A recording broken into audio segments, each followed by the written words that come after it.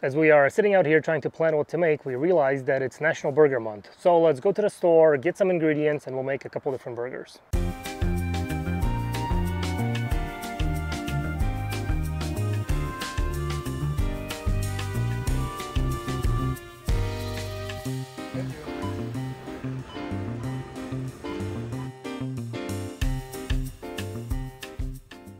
Quick uh, pit stop at the post office. Gotta send out the uh, packages, so that's the gloves and the rub available on our site. So we try to send these out as soon as we get them. So this is uh, load number one uh, for today. We are back from the store, got all our ingredients. So let's get these burgers going. The plan is to make three different kinds of burgers. We've got our buns, a couple different cheeses. We've got some mushrooms, can't forget the greens, some tomatoes, got an avocado.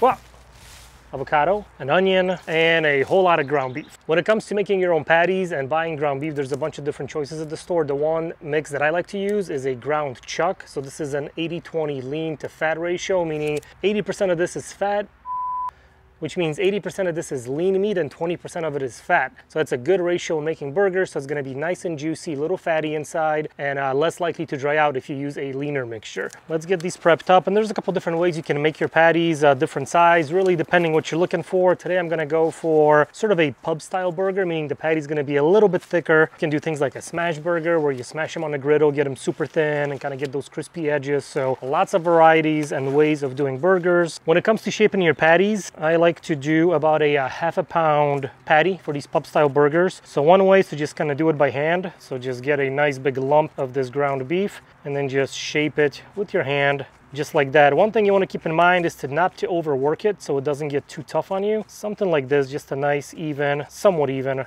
round shape, about a half an inch thick or so, and boom, there you go. There's your half pound patty. You can also use a, a food scale to weigh these guys out to make it a little bit more accurate. And another way is you can use a, a burger press. So this one's from Weber, and these are kind of cool because they're uh, double-sided. So one side is a quarter pound, and then the other side is a half a pound. So if you want to get them super even, if you're making a lot, and you know this makes it a little bit quicker. One thing that you'll need for the uh, burger press is a little parchment paper, so the meat doesn't stick to the bottom or the top. You can also use a little cooking spray, but this is just easier.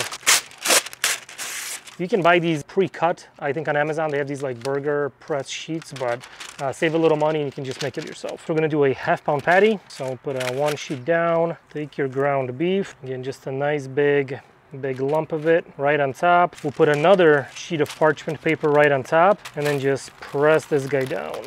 Okay, so that's uh, not super even, so we'll add a little bit more. Probably should have weighed this down first to really make sure it's a half a pound, but that's okay. It's kind of winging it here today. Okay, let's try it one more time. Okay, it's a little better. Flip this guy over. So that's another half pound patty. The other thing that this does is it has a little divot, or not a divot, a little thing in the middle. So it makes a divot in your burger. So as this thing is cooking, it's not gonna puff up on you. Here's the uh, burger press one, and here's the handmade one can see this one's a little bit bigger. This one's probably a little bit shy of a half a pound, but you know, kind of similar. All right, so that's how the burger press works. Let's make the last one by hand. I don't know why, I just like doing these by hand. It's kind of kind of fun and cool. There you go. I'm just gonna press it together. The one thing when you're making these by hand, you just wanna make sure that your thickness, or it's the same thickness all the way around, so it cooks evenly and at the same time. Boom, Look at that, nice three burger patties. Next up, we're gonna season our patties. We're gonna use three different seasonings. First up, I'm going with my Grillin' with Dad all-purpose barbecue rub available on the site. So this one's gonna go on our first patty. So just pick them up and just go a nice even layer on one side, Oop, flip it over, and do the other side. This burger is gonna be kind of the traditional cheeseburger we're gonna do. So it's gonna be cheese, bacon, lettuce, tomato, onion, kind of a traditional way to do a, a burger on the grill. Next up, we're gonna do a uh, spicy Tex-Mex style burger. And for that one, I'm using my brand new, not yet released taco and fajita seasoning. So we're kind of still finalizing the formula there. It's a great way to test these out. So just go a nice, nice little layer of our taco seasoning right on top give it a flip and do a little bit more. Since we're doing three different burgers from that one block of ground beef, I'm seasoning just the outside. If you're gonna do all your burgers the same way, you can just season the beef, mix it together, then shape your patty. So a couple different ways of, uh, of getting that meat seasoned up. And our last burger, we're gonna do a mushroom bacon Swiss, no, mushroom onion Swiss burger. We're gonna do sort of a, a classic steak seasoning, so just go pretty heavy with kosher salt and black pepper. I'm using this fancy gravity pepper grinder. Basically kind of turn it upside down, it turns on and starts grinding your pepper. Kind of easy to use when, uh, when making videos. Okay, and then we'll repeat on the other side. If you put these burgers on the grill as they are right now, they're very likely to just kind of fall apart and crumble because it's just ground beef. We didn't put any binders, eggs, or breadcrumbs. You know, we're not doing a meatloaf. So I'm gonna put this in the fridge for about a half an hour or so, and that beef is gonna kind of firm up a little bit and uh, will be less likely to fall apart when we, when we grill it. All right, let's put this on the fridge. Let's put this in the fridge. Just slide these guys right in. And we'll just leave them in there for the 30 minutes, 35 minutes. It'll take the grill to get ready. We'll get all other ingredients ready. Okay, next up, we're gonna fire up the big green egg and show you guys my brand new high heat grilling gloves. Look at these. These are uh, heat resistant, like 1400 degrees. They're perfect when using the grill. Keep your hands nice and clean and safe. Most importantly, from, uh, from the heat machine washable, they are available on the website as well. So for this cook, I'm gonna be using my large big green egg. This is gonna be great for, uh, for our burgers. It's gonna be a high heat, direct heat cooked, meaning I'm gonna get the charcoal fired up, put the grate on top, and uh, grill the burgers directly over the coal. I'm using these uh, starter cubes to uh, get the charcoal lit. So put one on one side, this one goes here, and let's light these guys up. I'll put the grate right back on top, just like so. So when the charcoal's ready to go, we'll put the burgers directly on the grate. They're gonna cook over those coals. It's gonna give it that nice kind of grilled flavor. And uh, yeah, they're going to be awesome. So let's get all our toppings ready, get everything nicely organized. So the first one is the All-American Burger. First up is some, uh, some cheese. And I can't do an All-American Burger and not use American cheese. Now I know there's a lot of debate about this being, you know, real cheese or not real cheese, but it's just so good on burgers. It melts very nicely. It looks great. It tastes really good. We're gonna go with a couple slices of American American cheese. Next up is some lettuce. I got this kind of a fancy looking lettuce. You can use iceberg, really anything you want. And that's one of the great things about burgers is, well, you can kind of customize it to your liking. Get some greens, make it healthy. Next up, we've got a tomato. I like tomatoes on my burger, so just cut up a couple slices. Next up, we've got a red onion. You can just slice it up and serve it raw on your burger. Uh, we're gonna grill these up a little bit and we'll cut a couple bigger slices just like this and then I'll put this whole thing on the grill to kind of char up a little bit it's going to soften up and just give it that really nice flavor on the burgers and our last ingredient is going to be a burger sauce can't do a uh, tasty burger without a sauce and we're going to keep it uh, pretty simple so I've got some uh, ketchup some mayo and some uh, some relish. We're also going to add more of our barbecue seasoning to it. It's going to be delicious. So about equal parts of ketchup and mayonnaise. Then we'll go in with our with our relish. Gonna give it a little sweetness, little tanginess, and finally a little barbecue rub. We'll mix this guy together. Now, if you're doing this at home or you're adding other ingredients to your sauce, just taste as you go, right? Take a little bit and see if you like it.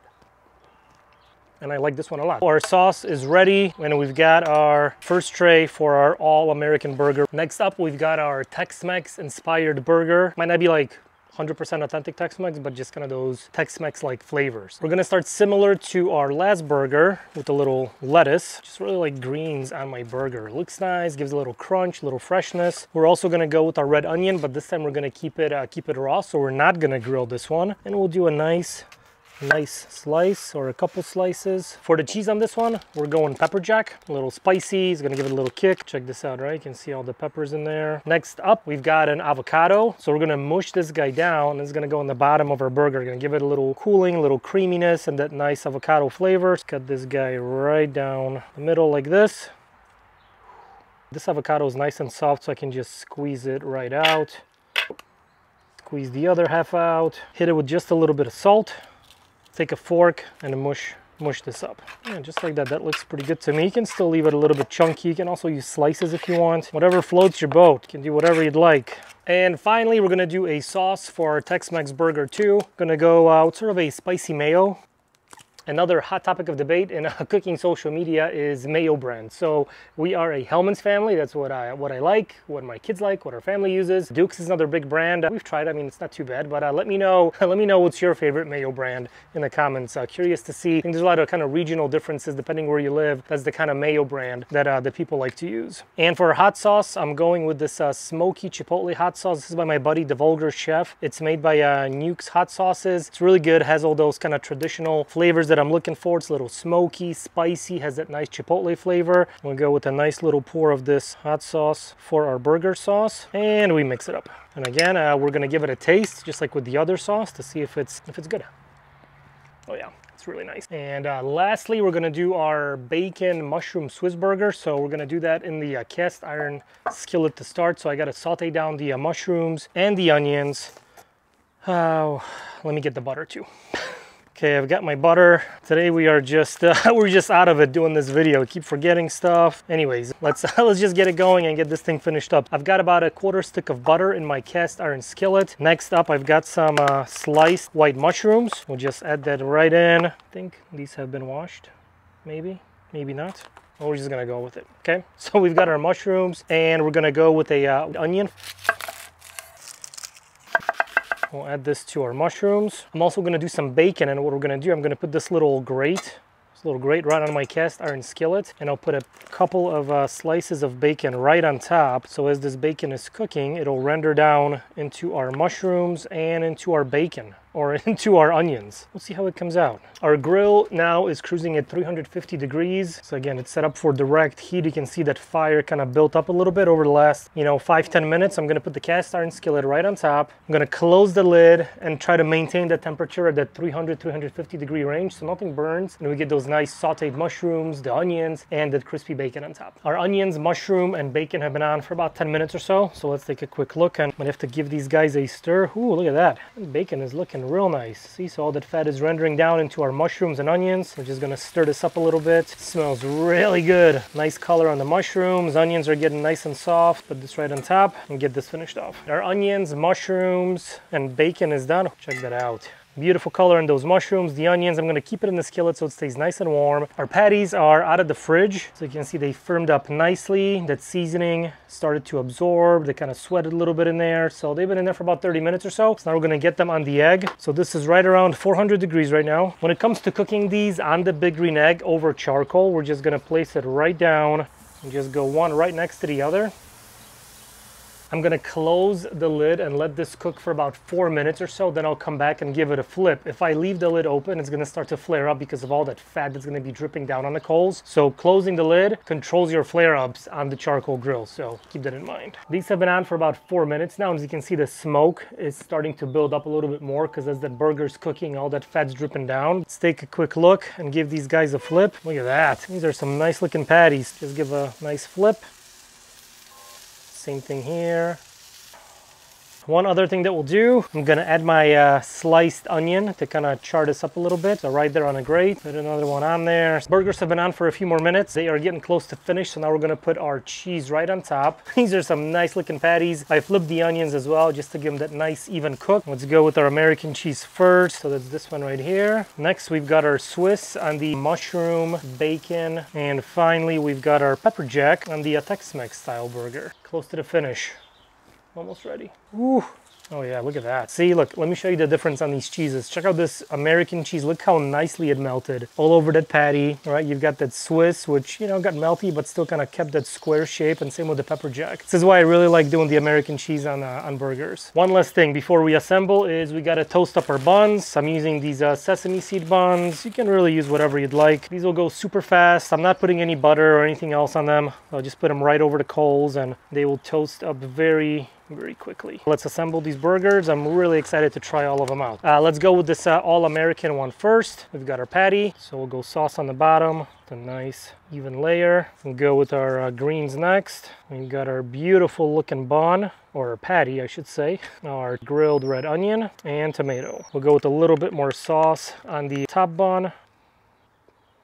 First burger ready and assembled. Let's do our Tex-Mex style burger next. We're gonna go with our mashed up avocado. Just a nice thick layer of that. Put a little lettuce. We already got a bunch of green in the avocado but we'll go just a little bit of that lettuce on there. We've got our pepper jack patty. We're gonna go with the uh, raw red onion. Got our spicy chipotle mayo. Will go on the top bun Burger number two ready to go. And burger number three, our last one. This is the uh, mushroom, bacon, and Swiss. For this one, we're gonna go with a little barbecue sauce. going with Sweet Baby Ray's. It's a local favorite. I like it. As always, you guys can use whatever sauces you like. We've got our patty with the uh, Swiss cheese. We've got our mushrooms and onions. And just top that on or just like that. Bacon is next. I'm just gonna break these guys in half so it's a little bit easier to assemble. And we'll go with a little bit more sauce on our top bun. And there she goes. Still working on those thumbnails and to make it look nice and pretty for you guys. Thumbnail is done. Pictures are looking great. So let's try it out. I was just thinking if I should cut them in half or not. I think I'm just gonna go, I'm just gonna go for it whole, just like this. So let's go with this one first. These are such nice looking burgers. Look at this. Let's go for it. Here we go. Mm. Mm-hmm. Wow, it's a really good burger. The cheese, the sauce, the patty's really flavorful. The grilled onion adds a lot of flavor to it too. You can kind of taste that oniony, but it's a little sweeter onion flavor because it was cooked. Uh, nice and smoky flavor. Yeah, this one is uh, this one is delicious. Okay, let's go for the uh, Tex-Mex kind of flavored one. Here we go. Ooh. Wow. It's got a little heat that kind of sneaks up on you at the end, but that avocado is so good on it. Oh man, avocado is perfect with this burger. A little spicy, tangy, really nice kick to it. It's delicious. Okay, last one. This is our Swiss bacon, mushroom, onion, barbecue sauce. Here we go. Mm -hmm. Mm -hmm. I think that last one might be my favorite. Get those onions, the mushroom, the bacon, sweet barbecue sauce, that nice meaty patty. Really can't go wrong with any of them. I mean, the best thing about burgers is you can put whatever toppings you want, whatever flavors you like. I think I might, I might just continue eating this one. So uh, I think that might be it for this video. I hope you guys liked it. If you're making some burgers, let me know. And uh, if you like what I'm doing here, hit that subscribe button, give it a thumbs up, leave a comment. And uh, yeah, I'll see you next time and I'll just hang out here and finish eating my delicious burger.